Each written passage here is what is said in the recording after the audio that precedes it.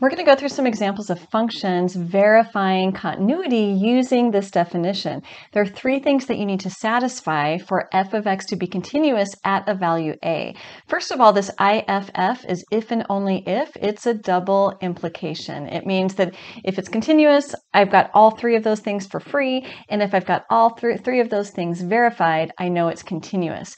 So first of all, f of a has to be defined. So we're good in all three of these, but that's where the infinite infinite discontinuity fails, there is not a point at A for the blue graph. The second one, the limit needs to exist. Well, the limit existing means that it exists both from the left and from the right. So that limit needs to equal and from the right.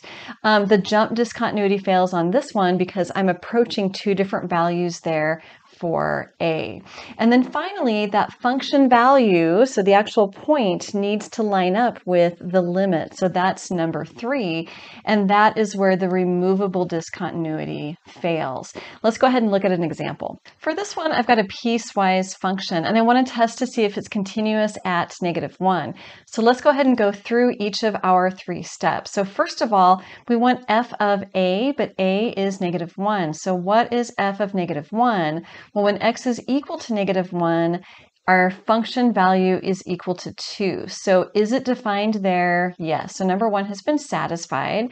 Step number two, I need to show that the limit exists. So we need to test that limit from the left and from the right. So the limit as I'm approaching my function from the left, so of f of x, as I'm approaching it from the left, that's going to be this first definition here where x is less than negative 1.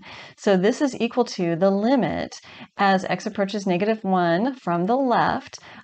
of 2x plus 11. Now it's defined there, so I can go ahead and just plug in negative 1, and I get 2 times negative 1 plus 11, which is equal to 9, and I need to show the limit on the other side as well. I need those to be the same.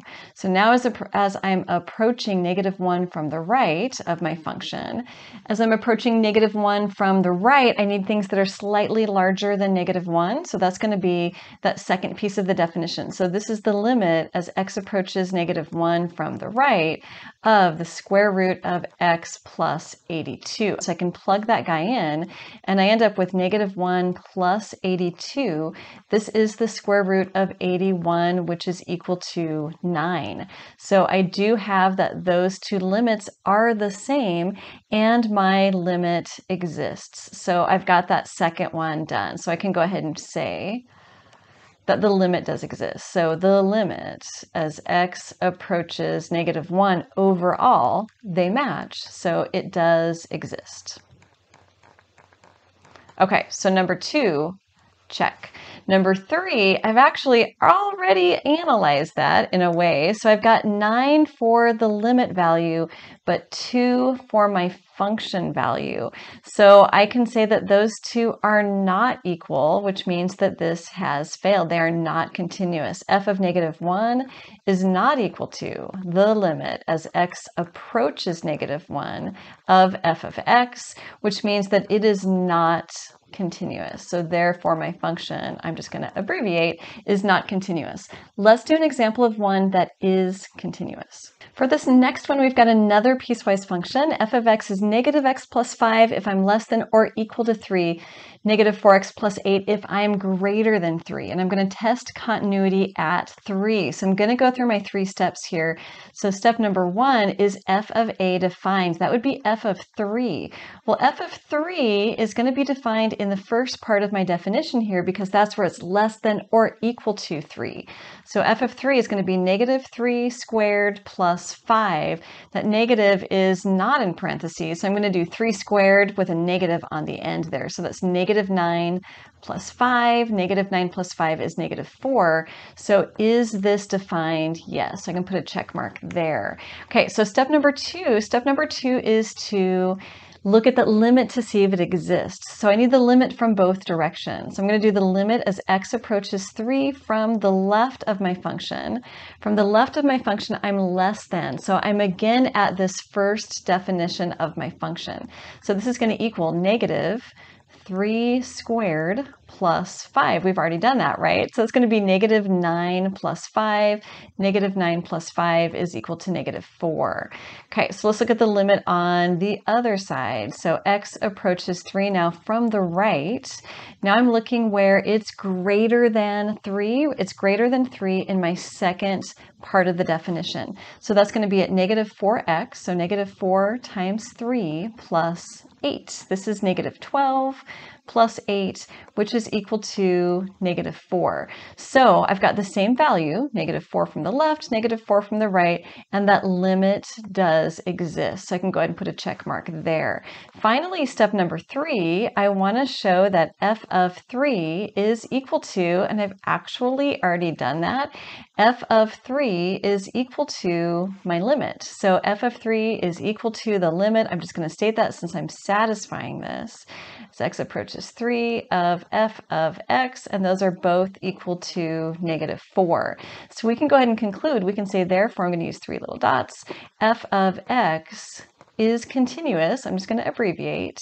Continuous at x equals three. Let's do one more. For this one, we've got another piecewise function. Let's go ahead and run through each of our conditions. So first of all, I need to make sure that f of a, a is negative 2 this time, does exist. Well, that's going to be the second part of my definition there. f of negative 2 is defined to be 1. So this one is defined, and I can go ahead and put a check mark there for condition number 1. Let's do condition number 2 next. So condition number 2 is that the limit exists, so this is going to be x approaches negative 2, this is a rational function, so I don't need to analyze the limit from the left and from the right. Instead, I can go ahead and factor and use some algebra. It turns out to be um, a discontinuity, a removable discontinuity. Let's factor that numerator, x squared plus 5x plus 6, factors as x plus 2, x plus 3, and I've got that x plus 2 in the denominator, that's where negative 2 caused this to be undefined, but that gives me just x plus 3 now.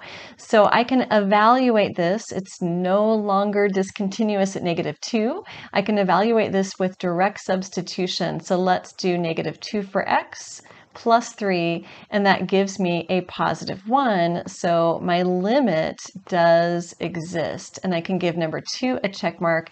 And then finally, step number 3, I've already done it, right? I've shown that the function value at negative 2 is the same as the limit at negative 2, but let's go ahead and formalize that with step number 3. We can say that f of negative 2 is equal to the limit as x approaches negative 2 of f of x, which is equal to 1, and we've got therefore it's continuous at, and I'm just abbreviating, at x is equal to negative 2. Take a look at this next video. You guys are doing great. Thanks so much for watching.